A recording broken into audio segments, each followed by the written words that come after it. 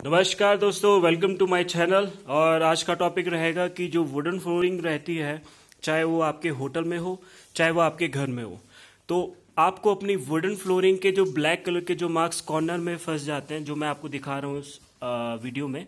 आप देख सकते हो, ये काले काले जो दिखाई दे रहे हैं, इसको मैं आज बताऊँगा विद मेरी टीम मेरे साथ है इस टाइम इसको कैसे रिमूव करना है, आपको मैं एक एक करके तरीका बताऊँगा मैं आपको।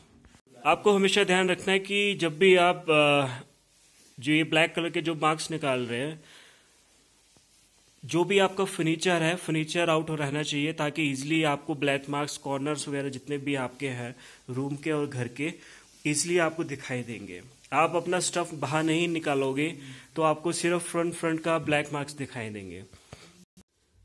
दोस्तों, हम यूज़ कर रहे हैं आर और आर हम अप्लाई कर रहे हैं फ्लोर पर जो ब्लैक ब्लैक मार्क्स दिखाई दे रहे हैं आपको आर टू उसके ऊपर लगाना है और उसके बाद आपको स्क्रबर के साथ साफ़ करना है। जैसे इस वीडियो में आप देख रहे हो ये कैसे साफ़ कर रहा है देव आ, देव किशन।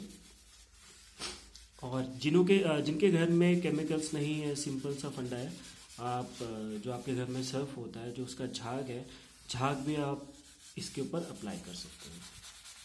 ये बात हमने की है टाइल्स की। अब बात करेंगे हम जो वुडन फ्लोरिंग है।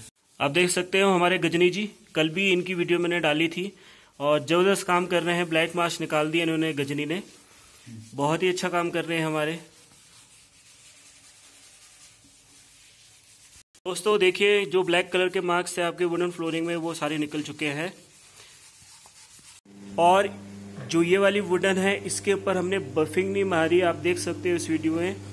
इसकी जो फिनिशिंग है बहुत ही दूसरे टाइप की फिनिशिंग आ रही है।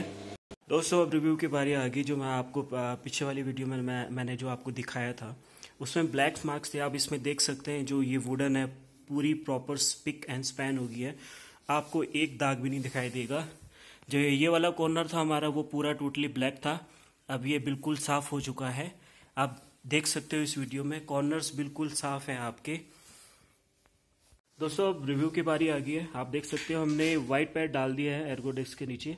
ठीक है? नॉन सिंपल सी बात है, जिनके घरों में मशीन नहीं है सिंपल सा तरीका कर सकते हैं। वो गीला पोचा भी मार सकते हैं और गीला मॉप भी मार सकते हैं। उससे क्या होगा, आपको एटलीस्ट दो से तीन बार मारना होगा, जो भी आपके, जो मैल जमा है कॉर्नर्स में और जो वुडन फ्लोरिंग है, वो आपकी क्लियर हो जाएगी।